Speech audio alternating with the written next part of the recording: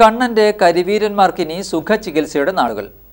ഗുരുവായൂർ ആനക്കോട്ടയിലെ ഇരുപത്തിയൊൻപത് ആനകൾക്കാണ് ബുധനാഴ്ച മുതൽ സുഖചികിത്സ ആരംഭിച്ചത്.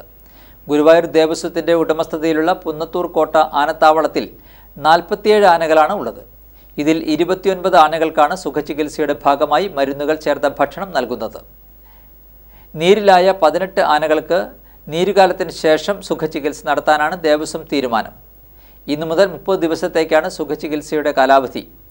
ആനകളുടെ ആരോഗ്യകാര്യങ്ങൾ വിദഗ്ധ ഡോക്ടർമാരുടെ മേൽനോട്ടത്തിലുള്ള സംഘം പരിശോധിച്ച ശേഷമാണ് ആനകൾക്ക് സുഖചികിത്സ നൽകുന്നത്.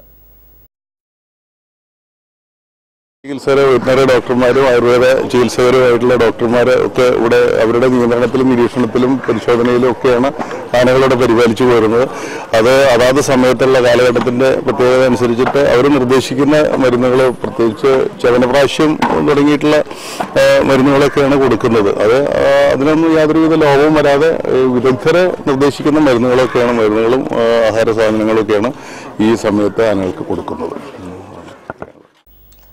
ഉണക്കലരിയുടെ ചോറ് ചവനപ്രാശ്യം ലേഹ്യം വേവിച്ച ചെറുപയർ ആയുർവേദ അലോപ്പതി മരുന്നുകൾ എന്നിവ കൂട്ടിയ ഭക്ഷണമാണ് ആനകൾക്ക് സുഖ ചികിത്സയിൽ നൽകുന്നത്. പതിനൊന്ന് ലക്ഷം രൂപയാണ് ചികിത്സയ്ക്കായി ദേവസ്വം ചെലവഴിക്കുന്നത്.